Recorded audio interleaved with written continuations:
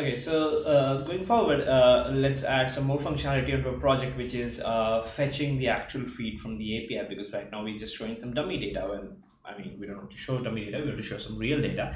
So uh, the thing is, if you uh, go to the uh, you know the demo site, you will see that when you're not logged in, you get to see this global feed button only. And when you're in the logged in state, when I have a user which is logged in, in that case, I see your feed and global feed i've got two options. So global feed shows me all the articles like usual and your feed shows me articles from the people whom i follow. Okay? Now as for the api there is a way to fetch these two lists. If i go to uh, you know articles. So we're going to get get api slash articles in that case we uh, get all the articles and we can pass uh, the tag filter to filter by tag. We can pass the author filter to filter by author favorited uh, to filter by who has favorited those articles we can pass a limit and offset for the purpose of pagination so that you know we can get like 20 articles at a time and you can show only 20 articles in a single page stuff like that. Next uh, we have got this api slash article slash feed which fetches me articles only of my current feed. Now, uh, for API slash articles, authentication is optional. We don't need to pass the token because this is global feed. Everybody can see that. Uh, authentication is required when we are trying to fetch API slash article slash feed because uh, this feed is specific to a particular user. If I make a request to API article slash feed, I'm going to get only those articles that I am following and only those few users that I am following. And that's possible only if the server knows who is making that request. Okay so we're gonna uh, implement both of these things in our system and see how that goes. For that what we'll do is we will create a new module in our store. And we do have a module called users here. We'll add a articles module uh, to achieve that. Okay uh, so what we uh, do is uh, we have created uh, something like this um, you know. We create a feed array which is empty. Okay uh, initially and account which is zero. Uh, I have a mutation called set article uh, which sets the articles into the feed and it sets the uh, article count into count okay? Um, then we have a two functions here. One called get global feed another called get uh, user feed. So the get global feed uh, one uh, takes like a page number as an argument optionally if possible and we create a route called articles. If you know the uh, payload uh, contains a uh, tag or uh, a an author or uh, favorited or uh, the page numbers then i add these url parameters. I add tag equal to the name of the tag or author equal to name of the author or favorited equal to name of the favorited and if i get a page then i what i do is i I, I offset uh, page uh, minus one and I limit it uh, you know up to uh, limit it to 10 so if somebody sends a page number then I uh, can fetch uh, based on that I can, uh, I can add offset and limit to my um, API uh, so uh, then uh, what I do is I do API dot get on this route, which is slash articles and I get response and I send the response.data into set articles. So uh, response.data is going to be uh, of this type. Um, it will contain an array called articles and it will contain an article count. Okay, so uh, so my response.data contains articles and article count. I set both of them into my state.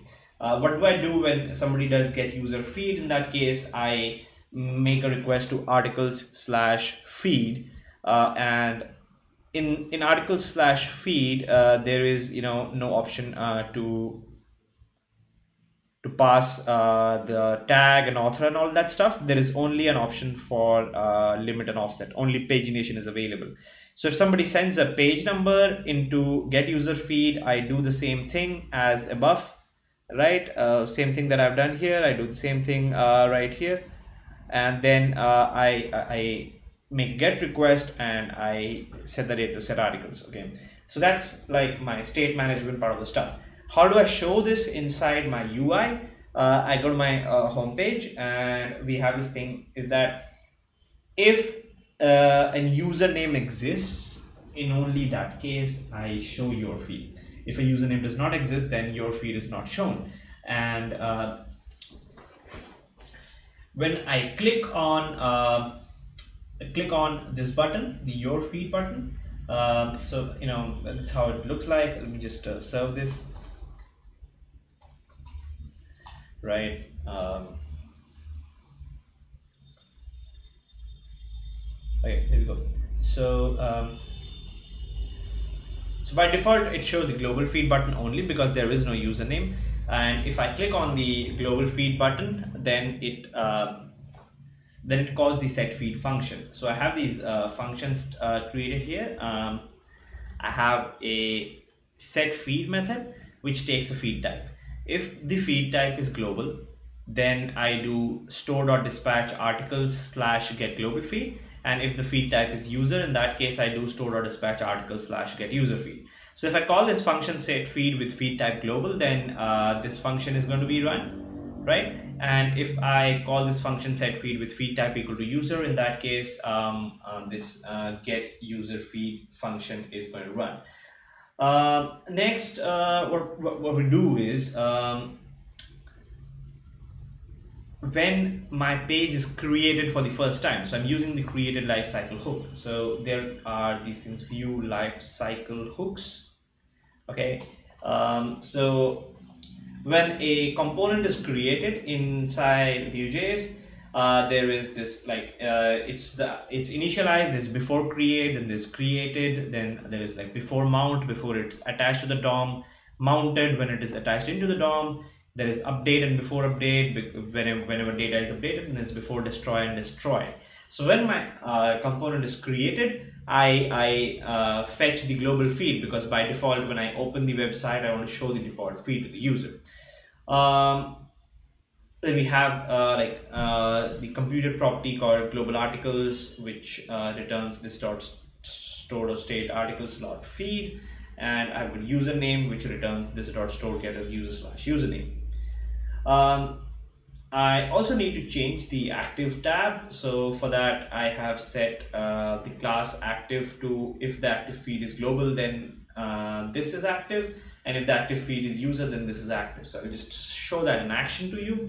Um, I will just uh, sign in, you know, um, a at cb.lk, the user that I had created, same password, a at cb.lk. Let me sign in and go to my home page and uh, oh, okay I think uh, we've got a bit of problem here is that um, just um,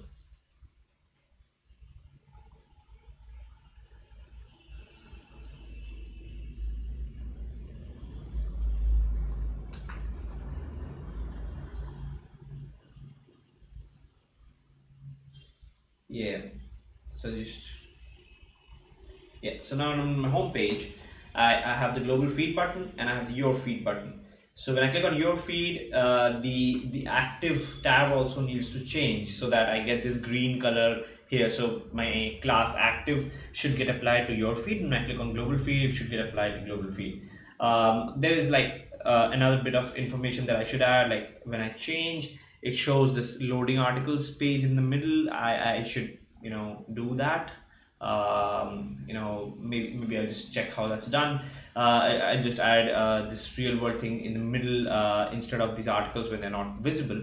Um, but for now yeah uh, I think we can do something that we can check the length of global articles. If the length is zero then I can show this loading state in the middle.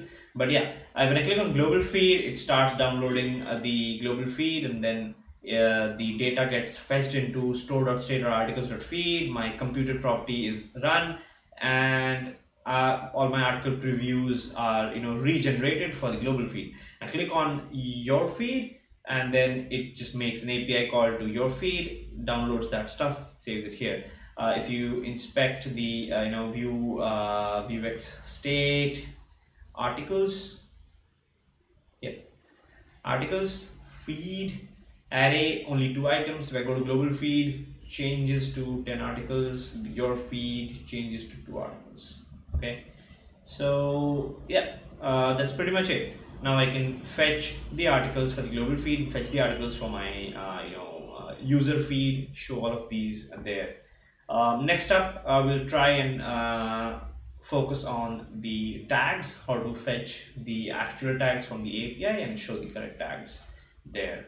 Okay, so I think it's, it's we're you know able to build most of the project you know if just following uh, all the all the videos and just building it along with the videos.